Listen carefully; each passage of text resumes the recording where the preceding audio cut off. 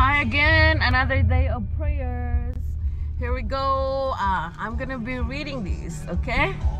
The Lord is my light and my salvation.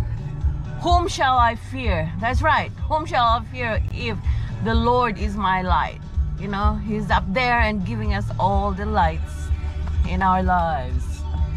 The Lord is the strength of my life, and whom shall I be afraid? We all have our own interpretation, but for sure, it's totally saying that bakit ako matatakot kung nandiyan ka naman, nandiyan ka Panginoon ko, di ba? Hindi ko kailangang matakot. Andito ka, binabantayan mo ko sa lahat ng ng gagawin ko, bakit pa ako matatakot, di ba? So ito. Ito ngayon. I'm gonna be reading. So inspiration, this is the inspiration. When you took when you take a look who God is and realize how powerful and how amazing he is, you realize that there really isn't anything the enemy can do to bring you down. That's right. Pag pag alam mo lang kung gaano ka lakas ang Panginoon, hindi ka matatakot. Wala kang ka, walang kaba-kaba kasi alam mo nakasandal ka sa kanya, parang pader ba. Instead na matutumba ka pero may nakaharang naman pader, paano ka pa matutumba, 'di ba? Parang ganun 'yon. So, God is the source of your salvation and your eternal security. Who or what can defeat that? Wala. Walang makakatalo dyan. Kung alam mo siya ang magliligtas sa'yo, di ba? Parang, Diyos ko, nakasandal ka na, nasa kutsyon ka na, parang, parang ang sarap-sarap na ng buhay kung isipin mo. Kung intindihin mo ng husto, itong sinasabi dito. So it says, absolutely no one and nothing can. Talaga, wala. Walang ibang pwedeng katakutan kasi nandyan ang Diyos. God is the ultimate light of your life. Siya na talaga ang pinaka ilaw mo sa sa mundong ito. Wala nang iba. Kung, di ba kung madilim, nabubunggo ka, pero kung nandyan ang Diyos, iniilawan ka naman, paano ka pa mabubunggo? Di ba? Ang galing, ang galing. Kailangan ko itong intindihin kasi kailangan ko itong mga words na to. So, gusto ko rin i-share sa inyo. I needed to share this to all of you. Okay. No form of darkness can prevail in the presence of God. God, it's just so beautifully said.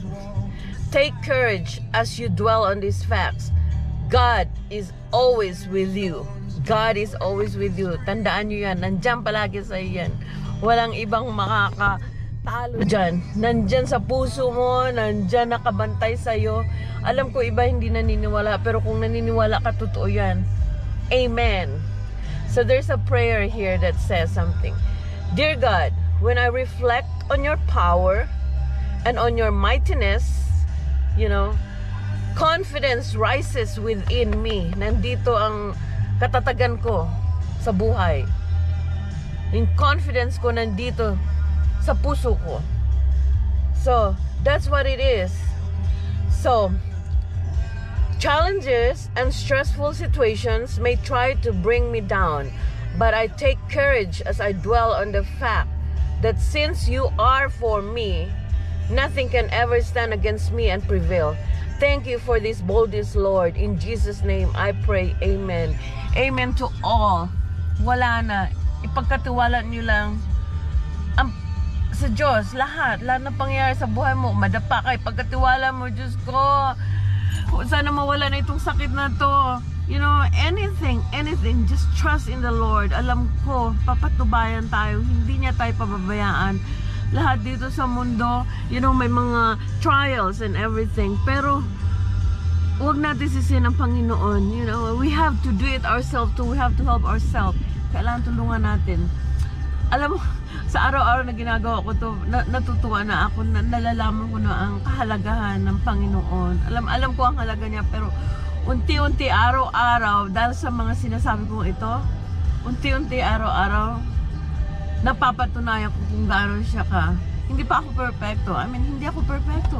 Marami akong kasalanan sa Diyos. Pero, gumagaan ang loob ko pag ako nagdadasal. Kaya from now on, guys, I, I, I want to say, bless you all. I'm gonna do this every day. I wanted to do this. I love you all and God bless. May you have the God's blessing today and be happy today. Bye.